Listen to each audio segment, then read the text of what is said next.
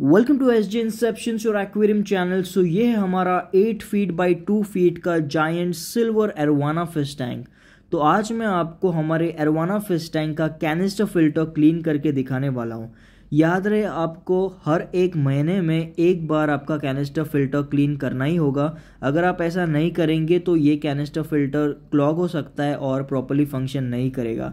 और ये जो लेफ़्ट साइड पर आप बड़ा सा इनलेट देख रहे हो, ये भी ब्लॉक हो जाएगा और प्रॉपरली डर्ट को सक नहीं करेगा। तो यही मैं आपको इस वीडियो में दिखाने वाला हूँ कि किस तरह से मैं मंथली कैनिस्टर फ़िल्टर मेंटेनेंस करता हूँ और किस तरह से ओवरऑल ये प्रोसीजर होती है। सो so, मैं आशा करता हूँ कि आपको आज का वीडियो अच्छा लगेगा और कुछ अलग लगेगा। So stay tune till the end of the video तो हमारे बड़े सिल्वर एरवाना फ़िश के लिए मैं यूज़ कर रहा हूँ सनसन का 304B कैनिस्टर फ़िल्टर और इस फ़िल्टर में आपको यूवी लाइट भी मिलती है। तो मेरे ख्याल से सनसन ये सस्ते में मस्त फ़िल्टर है। काफ़ी अच्छा रिज़ल्ट मिला है मुझे इसका अब तक। तो सबसे पहला स्टेप है इस लीवर को ऊपर की तरफ़ प्रेस करना ताकि हम इन दोनों होसेस को प्रॉपरली निकाल सकें। तो सेकेंड स्टेप है इन दोनों होसेस को पावर हेड से बाहर निकालना और ये एकदम आसानी से निकल जाते हैं, जैसे कि आप देख सकते हैं। सो अब हम इन होसेस को और पाइप्स को क्लीन करेंगे।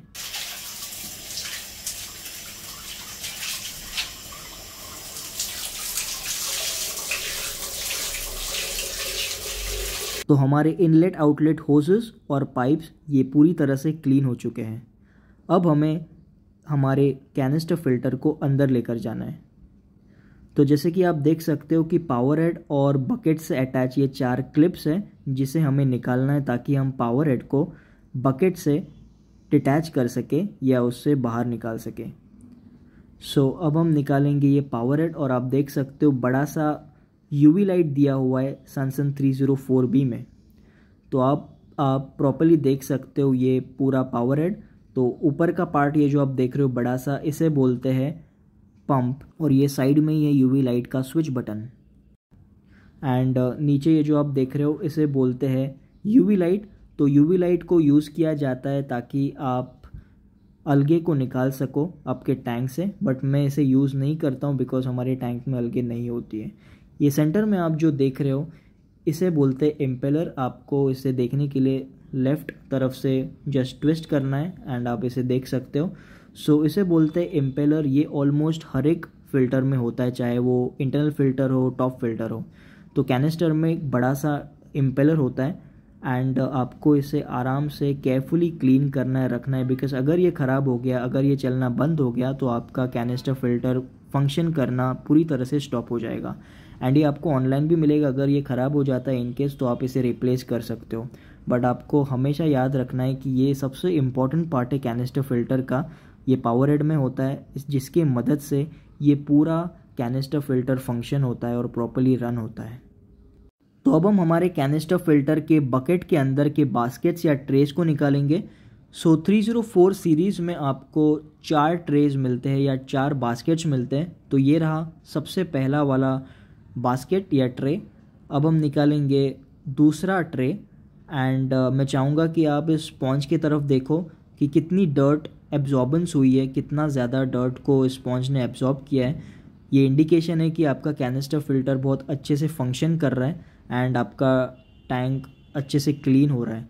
तो अब हम निकालेंगे तीसरा ट्रे तो तीसरे ट्रे में भी आप देख सकते हो कि मैंने सिरेमिक रिंग्स ही डाली है तो मैंने ट्राई किया है कि ज़्यादा से ज़्यादा सिरेमिक रिंग्स डालूँ ताकि ज़्यादा से ज़्यादा गुड बैक्टीरिया कॉलोनाइजेशन हो।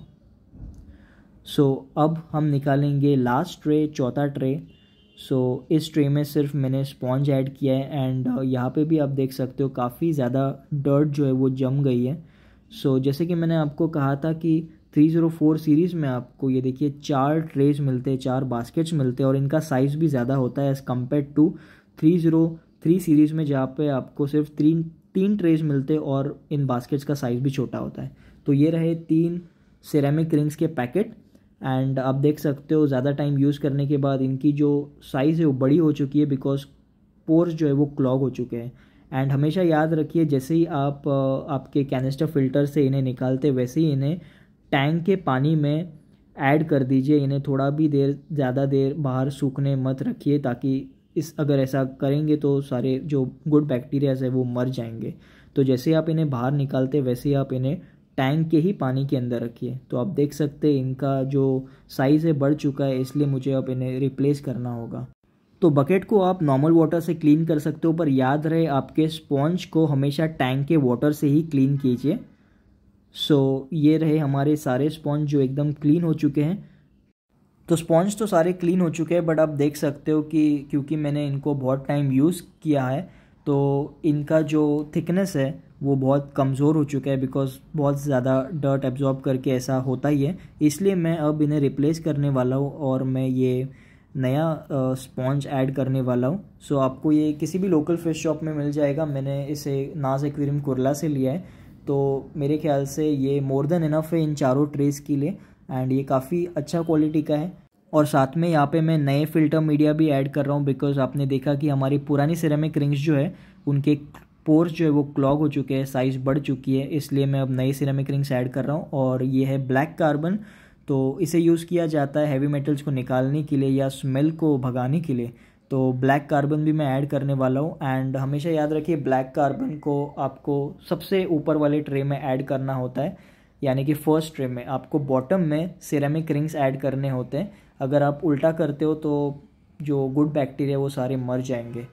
सो so, हमारे सारे फ़िल्टर मीडिया एकदम रेडी है पर ऐड करने से पहले आपको दिखाना चाहूँगा हमारे नए स्पॉन्ज इनकी क्वालिटी देखिए काफ़ी अच्छी है काफ़ी थिक है। तो डर्ट को काफ़ी अच्छी तरह से एब्जॉर्ब करेंगे। सो so, ये बहुत लंबे हैं लॉन्ग है इसलिए हम प्रॉपरली इन्हें फिट नहीं कर पाएँगे हमारे बास्केट में इसलिए हम इन्हें कट कर देंगे। बट उससे पहले दिखाना चाहूँगा लेफ़्ट में आप देखिए पुराना स्पॉन्ज राइट में नया स्पॉन्ज पुराने स्पॉन्ज की कितनी हालत ख़राब हो चुकी है इसलिए हमें इसे रिप्लेस करना पड़ रहा है। तो सीजर्स की मदद से हमने इन लंबे साइज़ के स्पॉन्ज को कट कर दिया है एंड मेरे ख्याल से एक तरफ़ का स्पॉन्ज ही आराम से बैठ जाएगा पूरे बास्केट्स में। तो मैंने नए फ़िल्टर मीडिया सारे ऐड कर दी है बास्केट्स के अंदर। एंड अगेन आपको बताना चाहूँगा बॉटम के ट्रे में या लास्ट के ट्रे में आपको हमेशा स्पॉन्ज या बायो मीडिया ऐड करना है। नीचे के एक ट्रे में मैं बायो बॉल्स भी यूज़ कर रहा हूँ बिकॉज़ इनके हेल्प से भी काफ़ी अच्छा पावरफुल बायोलॉजिकल फिल्ट्रेशन होता है। बिकॉज़ बायो बॉल्स में भी काफ़ी ज़्यादा सरफेस एरिया होता है तो of course beneficial bacteria good bacteria आएँगे ही। तो सारे फ़िल्टर मीडिया ट्रेस को मैंने ऐड कर दिए अब लगाते हम हमारे पावर हेड को।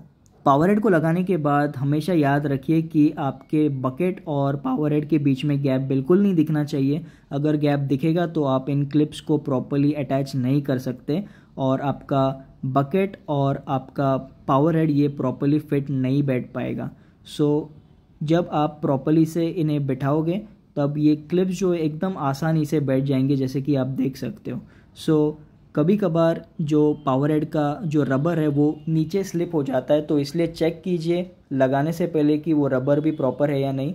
सो so, जब एवरीथिंग सही है तब ये क्लिप्स जो ये आसानी से एकदम बैठ जाते हैं जैसे कि आप देख सकते हैं।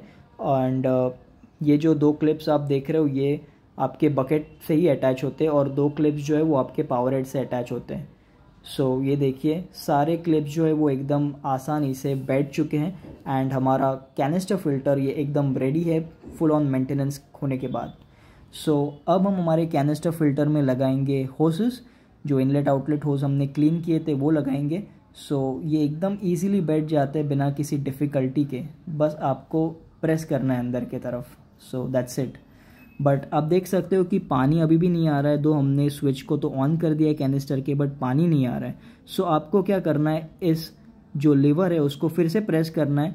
एंड नेक्स्ट स्टेप है आपका ये जो पंप है उसे प्रेस करना है। तो इस तरह से प्रेस नहीं कीजिए बिकॉज़ मैं एक हाथ से शूट कर रहा हूँ एंड एक हाथ से मैं प्रेस कर रहा हूँ। बट प्रॉपरली नीचे की तरफ़ प्रेस कीजिए।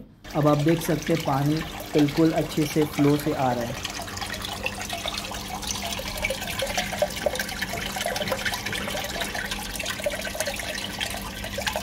So that was today's video about canister filter maintenance. I hope you enjoyed watching. Thank you so much for watching. Happy fish keeping and have a wonderful day ahead.